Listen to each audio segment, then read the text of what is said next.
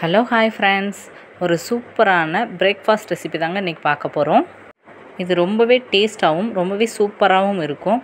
வாங்க இந்த கோதுமை அடை தோசை எப்படி செய்யலாம்னு பார்த்துடலாம் இந்த கோதுமை அடை தோசைக்கு நம்ம ஃபஸ்ட்டு கார சட்னி ரெடி பண்ணிக்கலாம்.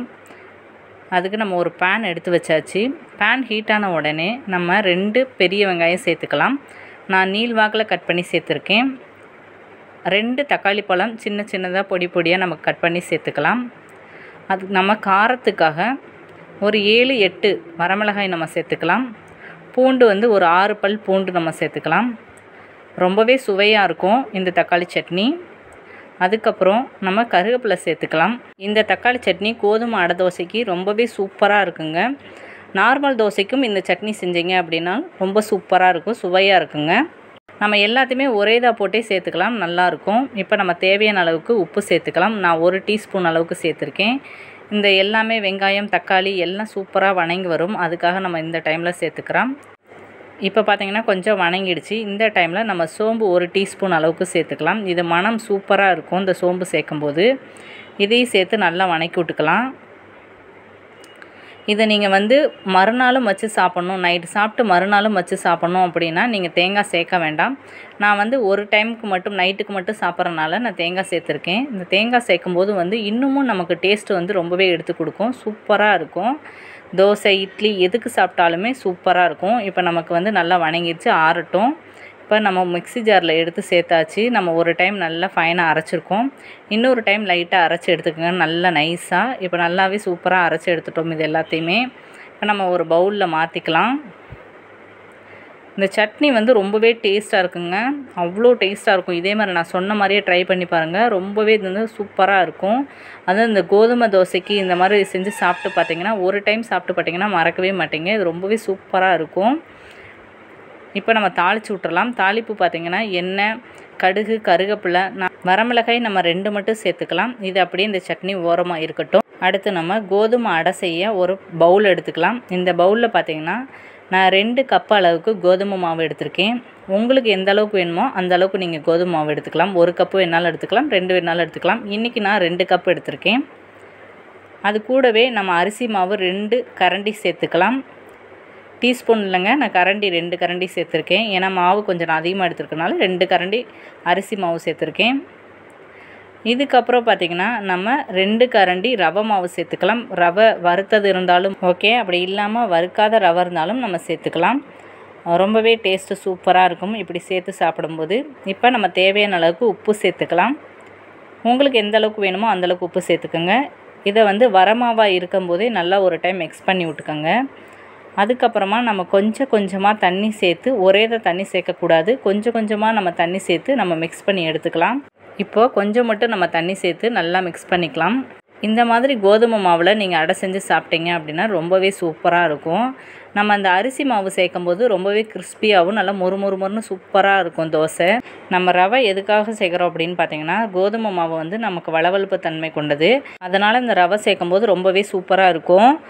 நம்ம இப்போ மாவை கரைக்கும் போது கொஞ்சம் கொஞ்சமாக தண்ணி ஊற்றி நல்லா கரைச்சிக்கோங்க. அப்போ தான் கட்டிகள் எதுவுமே இல்லாமல் நமக்கு சூப்பராக வந்து ரெடியாகி வரும். எல்லா பக்கமும் நல்லா கரைச்சி விடுங்க.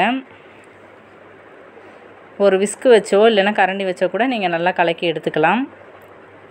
இப்போ பார்த்தீங்கன்னா தெரியும் நல்லா ஃபஸ்ட்டு இருந்ததை விட நமக்கு சூப்பராக ரெடி ஆகிடுச்சு இப்போ நம்ம கோதுமை அடை தோசைக்கு இந்த பதத்துக்கு நம்ம ரெடியாக்கி வச்சுக்கலாம். இப்போது நம்ம நல்லா ஒரு பிளேட் போட்டு மூடி வச்சிடலாம். டென் மினிட்ஸ் அல்லது டுவெண்ட்டி மினிட்ஸ் அப்படியே நமக்கு இருக்கட்டும். அடுத்து நம்ம ஒரு மிக்சி ஜார் எடுத்துக்கலாம். அதில் ஒரு ஆறு பல் பூண்டு சேர்த்துக்கலாம். அதுக்கப்புறம் ஒரு துண்டு இஞ்சை வந்து நான் சின்ன சின்னதாக கட் பண்ணி எடுத்திருக்கேன். டேபிள் ஸ்பூனில் ரெண்டு டேபிள் ஸ்பூன் அளவுக்கு வரும். மிளகாய் பார்த்திங்கன்னா நான் வந்து காரத்துக்கு நாலு மிளகாய் சேர்த்துருக்கேன். அடுத்து சீரகம் ஒரு டீஸ்பூன் அளவுக்கு நம்ம சேர்த்துக்கலாம். அடுத்து மிளகு வந்து நம்ம ஒரு அரை டீஸ்பூன் அளவுக்கு நம்ம சேர்த்துக்கலாம். தண்ணி எதுவும் சேர்க்க வேண்டாம். இது எல்லாத்தையுமே நல்லா மிக்சி ஜாரில் போட்டு அரைச்சி எடுத்துக்கலாம். இப்போ பார்த்தீங்கன்னா நம்ம அரைச்சி எடுத்தாச்சு. நல்லா குறை குறப்பாக அரைச்சி எடுத்தாச்சு. இந்த அளவுக்கு இருந்தாலே போதும். கன்சிஸ்டன்சி கரெக்டான அளவுக்கு இருக்குது. இதை அப்படியே ஒரு பிளேட்டில் எடுத்து வச்சு நம்ம ஓரமாக வச்சிடலாம் இப்போ அதுக்கப்புறம் நம்ம ஒரு பேன் எடுத்துக்கலாம். பேன் ஹீட்டான உடனே நம்ம ஒரு டேபிள் ஸ்பூன் அளவுக்கு எண்ணெய் சேர்த்துக்கலாம். அதில் நான் ஒரு டேபிள் ஸ்பூன் கடுகு சேர்த்துக்கலாம். அது நல்லா பொரிஞ்சு வரட்டும். அதுக்கப்புறம் நான் ஒரு டேபிள் ஸ்பூன் அளவுக்கு வடைப்பருப்பு சேர்த்துருக்கேன். இது இப்படி சேர்க்கும்போது வந்து ரொம்பவே சூப்பராக இருக்கும் இந்த அடை தோசைக்கு. நம்ம அடுப்பை மீடியம் ஃப்ளேம்லேயே வச்சு நல்லா வணக்கிக்குங்க. இப்போ இந்த வடைப்பருப்பு நல்லா செவக்க வணங்கட்டும். அதுக்கப்புறம் நிலக்கடலையை நான் இடித்து சேர்த்துருக்கேன். ஒரு டேபிள் ஸ்பூன் அளவுக்கு நம்ம சேர்த்துக்கலாம். உங்களுக்கு வேணும்னா சேர்த்துக்கோங்க இல்லைன்னா ஸ்கிப் பண்ணிடுங்க இது எல்லாத்தையுமே நல்லா வணக்கி எடுத்துக்கலாம். எல்லாமே நல்லா செவக்க வணங்கி வரட்டும். அடுத்து நம்ம ஒரு மீடியம் சைஸ் பெரிய வெங்காயத்தை நல்லா சின்ன சின்னதாக கட் பண்ணி சேர்த்துக்கோங்க. அப்போ தான் அந்த அடை தோசையோட நம்ம கலந்து சாப்பிடும்போது ரொம்பவே சூப்பராகவும் டேஸ்ட்டாகவும் இருக்கும். இதை நல்லா வணக்கி விட்டுக்கோங்க. ரொம்ப செவக்க வணங்கணும்னு அவசியம் இல்லைங்க. சும்மா ஓரளவுக்கு நமக்கு வணங்கி வந்தாலே போதும். அதுக்கப்புறம் நம்ம கேரட் வந்து கொஞ்சம் சேர்த்துக்கலாம். சின்ன கேரட்டு ரெண்டு நல்லா துருவி சேர்த்துருக்கேன். இதையும் நல்லா நம்ம வணக்கி எடுத்துக்கலாம். நல்லா வணக்கி விடுங்க. அதுக்கப்புறம் தக்காளி பழம் நம்ம சேர்த்துக்கலாம். ரெண்டு பழம் தக்காளி பழம் மீடியம் சைஸில் நம்ம சேர்த்துக்கலாம். இதையும் நல்லா வணக்கி விட்டுங்க. நல்லா பொடி பொடியாக குட்டி குட்டியாக கட் பண்ணி சேர்த்துக்கோங்க. இதுக்கப்புறம் நம்ம கொஞ்சமாக கருவேப்பிலை சேர்த்துக்கலாம். கருவேப்பிலை பார்த்திங்கன்னா நான் சின்ன சின்னதாக கட் பண்ணி சேர்த்துருக்கேன். நீங்களும் அதே மாதிரி சேர்த்துக்கோங்க. ரொம்பவே சுவையாகவும் அது வந்து அந்த அடை தோசையில் கடித்து சாப்பிடும்போது வந்து நல்லாயிருக்கும் இப்போ அந்த வாசனைக்காக வந்து நான் கொத்தமல்லி தலையும் புதினா தலையும் சேர்த்துருக்கேன். இது எல்லாத்தையுமே நம்ம ரொம்ப நேரம் வணக்கணும்னு அவசியம் இல்லைங்க. ஒரு டூ மினிட்ஸ் வணக்கி எடுத்தாலே போதும். நமக்கு சூப்பராக வந்து ரெடி ஆகிடும் இந்த டைமில் நம்ம அடுப்பை ஆஃப் பண்ணிடலாம். இப்போ நம்ம அரைச்சி எடுத்து வச்சுருந்த மிளகாய் பூண்டு சீரகம் மிளகு இது எல்லாத்தையுமே நம்ம குறை குறைப்பாக அரைச்சி எடுத்து வச்சுருக்கோம். இதை வந்து நம்ம கோதுமை அடமாவில் நம்ம போட்டு சேர்த்துக்கலாம்.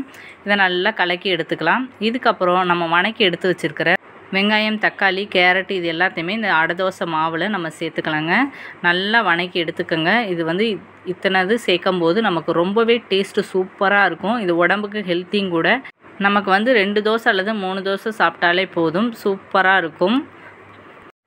இப்போ நம்ம இதை மிக்ஸ் பண்ணும்போதே தெரியும் இது எவ்வளோ சூப்பராக இருக்குன்னு. நல்லா கலர்ஃபுல்லாக ரொம்பவே சூப்பராக இருக்குது. இப்போ இந்த கோதுமை அடை தோசைக்கு நம்ம சூப்பராக ரெடி பண்ணிட்டோம். பார்த்தாலே தெரியும். ஆனால் இந்த டைம் பார்த்திங்கன்னா கொஞ்சம் கெட்டியாக தெரியுது. நம்ம வேணால் தண்ணி கூட கொஞ்சம் மிக்ஸ் பண்ணிக்கலாம். இப்போ நான் லைட்டாக தண்ணி சேர்த்துக்கிறேன். அப்போ தான் வந்து நம்ம தோசை மாவு கன்சிஸ்டன்சிக்கு ரொம்பவே சூப்பராக இருக்கும். இது ரொம்ப டைட்டாக இருந்தாலும் நமக்கு வந்து தோசை இழுக்கிறப்ப வராது. ஸோ அதனால் கொஞ்சம் தண்ணி விட்டுக்கலாம். ஃபைனலாக இந்த டைம் வந்து நம்ம உப்பு செக் பண்ணி பார்த்துக்கணும். நமக்கு தேவையான அளவுக்கு உப்பு கம்மியாக இருந்துச்சுன்னா தேவையான அளவுக்கு நம்ம கொஞ்சம் சேர்த்துக்கலாம். ரொம்பவே அப்போ தான் சுவையும் மணமும் சூப்பராக இருக்கும். நல்லா மிக்ஸ் பண்ணிக்கோங்க. இந்த அளவுக்கு பதத்துக்கு இருந்தால் நமக்கு கரெக்டான அளவுக்கு தோசை வரும். சூப்பராக நல்லா ரவுண்டாக வரும். இப்போ அப்படியே நம்ம வந்து தோசை ஊற்ற ஸ்டார்ட் பண்ணிடலாம் வாங்க தோசை ஊற்றிடலாம் அடை தோசை. இப்போ நம்ம ஒரு பேன் வச்சாச்சு. பேன் ஹீட்டான உடனே நம்ம தோசை ஊற்றிக்கலாம் ஒரு கரண்டி மாவை நல்லா ரவுண்டாக இழுத்துக்கலாம். தேவையான அளவுக்கு நம்ம எண்ணெய் சேர்த்துக்கலாம். இந்த கோதுமை அடை தோசை நம்ம உடம்புக்கு ரொம்பவே நல்லதுங்க. ஏன்னு பார்த்தீங்கன்னா நம்ம இதில் எல்லா வகையான ப்ரோட்டீன்ஸுமே இருக்குது. கேரட்டு வெங்காயம் வரமிளகாய் தக்காளி பழம் இது எல்லாமே சேர்த்துருக்கோம். பருப்பு அப்புறம் பார்த்திங்கன்னா நிலக்கடலை நம்ம எல்லாமே சேர்த்துருக்கும் போது டேஸ்ட்டும் சூப்பராக இருக்கும். இது நீங்கள் கார சட்னி வச்சு சாப்பிட்டாலும் சூப்பராக இருக்கும். அப்படி இல்லைனாலும் தேங்காய் சட்னி வச்சு சாப்பிட்டாலும் இந்த தோசை வந்து ரொம்பவே சூப்பராக இருக்கும். இது வந்து நீங்கள் நைட் டின்னருக்கு வச்சு சாப்பிட்டுக்கலாம். மார்னிங் பிரேக்ஃபாஸ்ட்டுக்கு வச்சு சாப்பிட்டுக்கலாம். ரொம்பவே சுவையாகவும் சூப்பராகவும் இருக்கும். இந்த மாதிரி நீங்கள் ஒரு டைம் ட்ரை பண்ணி பாருங்கள் கட்டாயம் உங்கள் எல்லாத்துக்குமே பிடிக்கும். இன்றைக்கி நம்ம கோதுமை அடை தோசைக்கு ரெடி பண்ணி வச்சுருக்க மாவில் நமக்கு ஒரு பதினஞ்சு தோசை வந்துச்சுங்க. கோதுமை அடை தோசை பதினஞ்சு வந்தது. ரொம்பவே சூப்பராகவும் டேஸ்ட்டாகவும் இருந்தது. இந்த கோதுமை அடை தோசையை வந்து நான் சொன்ன அளவுகளை வச்சு நீங்களும் ட்ரை பண்ணி பாருங்கள் ரொம்பவே சூப்பராகவும் சுவையாகவும் இருக்கும். இப்போ இந்த கார சட்னிங்க இதுக்கும் காம்பினேஷன் ரொம்பவே சூப்பராக இருக்குங்க. இந்த மாதிரி நீங்கள் ஒரு டைம் ட்ரை பண்ணி பார்த்துட்டிங்கன்னா கட்டாயம் அடுத்தடுத்து ட்ரை பண்ணுவீங்க. இந்த வீடியோ உங்கள் எல்லாருக்கும் யூஸ்ஃபுல்லாக இருக்கும்னு நான் நினைக்கிறேன். அப்படி உங்களுக்கு எல்லாருக்கும் பிடிச்சிருந்தா லைக் பண்ணுங்கள் ஷேர் பண்ணுங்கள் கமெண்ட் பண்ணுங்கள் மறக்காமல் சப்ஸ்கிரைப் பண்ணுங்கள் உங்கள் ஃப்ரெண்ட்ஸ் அண்ட் ரிலேட்டிவ்ஸ்க்கு நிறைய நிறைய ஷேர் பண்ணுங்கள் தேங்க்யூ